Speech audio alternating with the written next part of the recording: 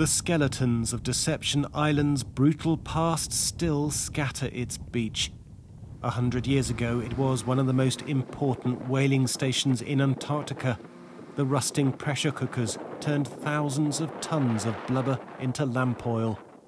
But the onshore stations couldn't compete with the arrival of industrial factory ships able to butcher and process whales out at sea. It allowed the fleets to plunder the oceans with brutal efficiency, with catastrophic consequences for Antarctica's giants. Now, scientists are trying to piece together the impact of the slaughter on the whole ecosystem. These are columns of mud lifted from the Antarctic seabed they contain DNA signatures of life in the sea at the time, and the deeper in the mud they're buried, the further back they go. It's environmental history. A lot of the baleen whales are eating krill.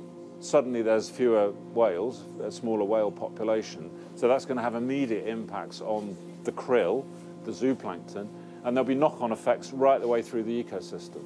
And so we want to see if we can detect those changes before whaling starts, to see what the situation was before whaling started. Two years on, and the scientists are back in their university labs trawling through the DNA signatures. So far, they've found marine life in one Antarctic fjord crashed 30 to 40 years ago for as yet unknown reasons. And as they go back further in time, they should see the impact of whaling. The fact that we have um, a significant change, which has obviously occurred at a particular point in time, is a heartening result. It's showing that we're, we are uh, in, in, a, in a very sort of broad brush kind of way, we are able to reconstruct something meaningful about, about the, the ocean system. Since commercial whaling stopped in the 1980s, the population of some Antarctic species has begun to increase, but no one knows how many whales there should be.